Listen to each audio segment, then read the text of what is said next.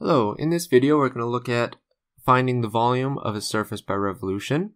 It asks find the volume of the solid generated by revolving the region bounded by y equals 4x minus x squared and y equals x squared about the line x equals 4.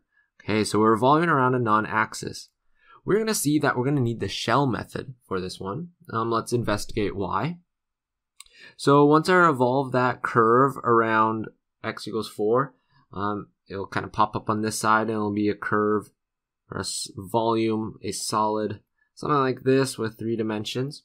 Notice how I've already graphed it for you. That's some of the legwork you're going to have to do in this and figure out where these two functions intersect to see where that region that gets revolved is. I've got it graphed for us here. So if I wanted to attack this with the disk or washer method, I would have to notice that because I'm going about this vertical line, my representative slab would be perpendicular to that axis. So it'd be right here. And you can see how if I revolve this thing around the curve, it would form a little, little washer. Right? Like that. Oh, beautiful washer. Okay, well, in that case, my slab, as I would move through, it would fill up the y values. If it's filling up the y values, that means I would integrate with respect to y because it would go from y equals 0 to y equals 4. Which means my functions need to be x equals something in terms of y. But see, that'd be kind of hard. These functions are already defined for y. I wouldn't want to change them in the first place. And then this first one, this we would really struggle with solving that for x. Okay, we'd have a really hard time with that which means I don't want to integrate with respect to y. I want to res- integrate with respect to x. That means my slab needs to be like this and fill up according to the x values.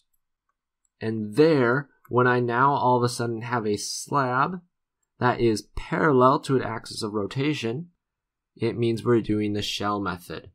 Okay, and plus you can envision when and this really helps if you can envision this, when this thing swings around, okay, when it swings around that axis of rotation, I all of a sudden have this cylinder idea that pops out. So you see that cylinder and you think shell method. Well, that means when I'm doing the shell method, I know the volume is equal to 2 pi times the integral from a to b of the radius times the height times dx because I'm integrating with respect to x. But now I need to find my radius, I need to find my height. Both of those are functions, okay, a variable, something that's changing. Looking through this, let's break down some of the easy things. The bounds. I am going with respect to x, so it's filling up. So I look from where to where on the x-axis. I'm going from x equals 0 to 2. That's where the bounds of my region are. And again, I can see that on the graph, but if I didn't have it graphed perfectly here for you, you'd have to take the two functions, set them equal to each other, and then solve this until you get x equals 0, comma 2. So my integral is going from 0 to 2. Alright, what about the radius? The radius of this cylinder, so, so uh, one of my shells right there, the radius would be from there to here. Now, that radius is always if I'm integrating with respect to x. It might be just x if I'm rotating around the y-axis. But if I'm rotating around a different one, such as this time x equals 4, I have to manipulate that a little bit.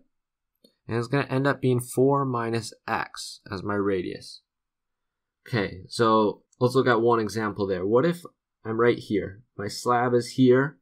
Okay, so I have this um, cylinder, what would be the radius of it? Well, we can see it's 3. Okay, the length going from 1 to 4 is 3. So that kind of makes sense. 4 minus my x value. 4 minus 1. And then what if I'm way up at my top here? That very last shell. Well, in that case, my radius here is 2. I'm going from x equals 2 to x equals 4. Once again, that makes sense. 4 minus 2. So I'm kind of I'm able to check my radius thing I put here, and it does make sense with a few specific examples. Now the easy way to do this, whenever you are finding your radius of your shell, you go either top minus bottom if you are integrating with respect to y, so going up and down, or like we are in this case, right minus left. And I'm talking about in reference between my axis of rotation and then where my slab is. So see my axis is to the right of where the slab is, the original slab on the original region. So you go right minus left. 4 minus the x. Okay? So we get 4 minus x. And then the height. The height of one of these cylinders, one of these shells, it's bouncing between the two curves. So again, you go with that idea of top minus bottom or right minus left. On this, because we got top minus bottom, we're going to go 4x minus x squared, which is my top curve, minus my bottom curve of x squared. And then the thickness of each of those shells, dx. Okay, we're going to work through this integral. We've got it all set up, so we've done the hard part. Now we're just going to work through it, simplify it a bit before we integrate. Whenever you rotate around that non-axis axis of rotation, um, it adds a little bit to it because you see we have to now do this foiling with the 4 minus x. So 4 times 4x is 16x. 4 times negative 2x squared, negative 8x squared. You got negative 4x squared. And then lastly, a positive 2x cubed. So I'm going to go through this one more time before integrating, combine some like terms, and I'll also put it in um, standard form as far as the exponents go. Minus 12x squared, then plus 16x. Okay, I'll swing this on up over here and integrate. So we have 2 pi out front, and then power rules. So add 1 to the exponent, and then divide by that minus 12x cubed over 3. And I'll go through this again and reduce some of these fractions because they do reduce nicely. And we are going from 2 to 0. Okay, so that equals 2 pi times x to the fourth over 2 minus 12 over 3 reduces to 4, x to the third plus 8x squared.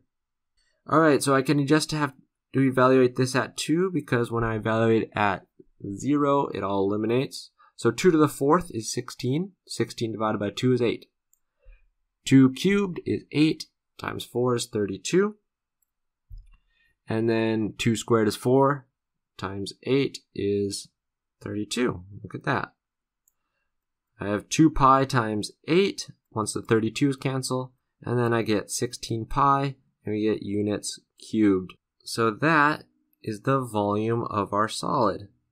And that came about by revolving our region around x equals 4, a non-axis. The big takeaway here, two things. When you do your shell method, your slab is parallel to your axis of rotation. That's a shell method. Also really helpful if you can visualize what it looks like when you revolve your slab around your axis. Okay, it kind of will it'll look like a cylinder or it will look like a disc slash washer. Both indications of it being the shell method then. Second big thing, when I revolve around something that is not an axis, you need to think about top minus bottom or right minus left. In this case, we did the right, which is the axis, minus the left, which is x, which is where your slab is located.